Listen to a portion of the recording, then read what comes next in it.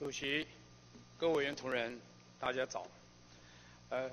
今天我是以全民抗旱作大作战，还漏节水是王道，来提出我个人的看法。呃，台湾西半部水情吃紧，经济部施元祥部长五月四号在立法院答询的时候说，如果持续的恶化，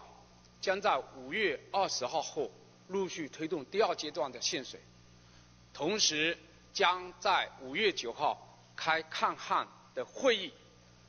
在时就时时间、阶段、地区来做适当的限水宣布。而桃园吴志阳县长也明确的宣布，如果再这样下去，十六号。就实施第二段、第二阶段的限水，也是台湾包括桃竹苗、中彰这个区块将面临严重的怨水问题，这是非常严肃的而且严酷的考验，所以我们希望政府绝对不能以等闲视之，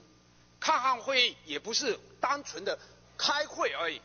应该提升到国安的层次。因为它影响的不仅仅生活，也影响工业，也影响经济，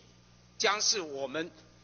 目前最重要、最迫切的这个事物，希望政府要重视。实际上，中石像我们造雨啊等这些措施，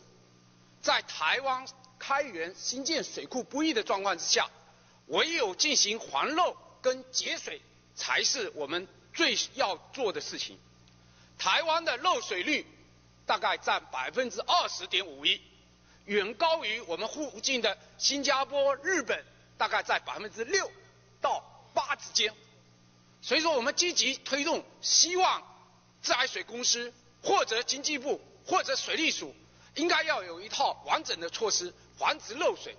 一年光漏水就漏漏漏掉多少座水库啊？所以说，我们希望能够针对问题来做解决。第二个部分，台湾的可开发的水资源大概一年两亿吨、两百亿吨而已。现在我们运水已经到一百九十亿吨，如果不节约用水，以现在有限的资源，以后十年内几乎年年都要缺水，每一年都要讨论一次。所以说，我们希望全民共体时间，在我们明九十八年。我们每人每日用水量是两百七十公升，九十九年我们是两百五十九公升，节约用水已经有成效了。我们希望未来能够降到两百五十公升。